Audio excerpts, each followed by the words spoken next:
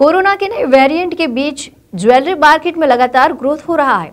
Local के साथ साथ इंटरनेशनल मार्केट में भी ज्वेलरी की अच्छी डिमांड है।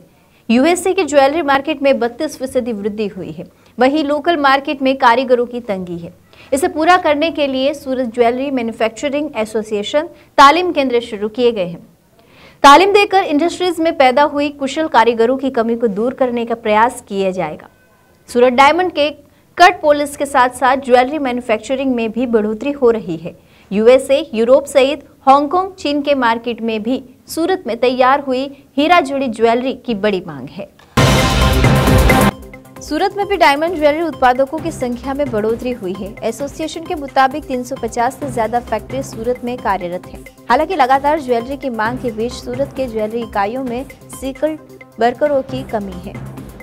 स्थानीय अग्रणी ने बताया कि दिनों दिन फैक्ट्री में एक्सपेंशन सहित नई इकाइयाँ भी स्थापित होने की शुरुआत हो चुकी है। जो ऑर्डर पहले मुंबई जाते थे, वे अब सूरत में आ रहे हैं। इसके कारण सूरत के उत्पादकों के पास लगातार काम आ रहा है। हाल में रफ डायमंड की कमी के कारण शॉर्ट सप्लाई की स्थिति में के बावजूद ज्वेलरी मैन्युफैक्चरिंग का काम रुका नहीं है।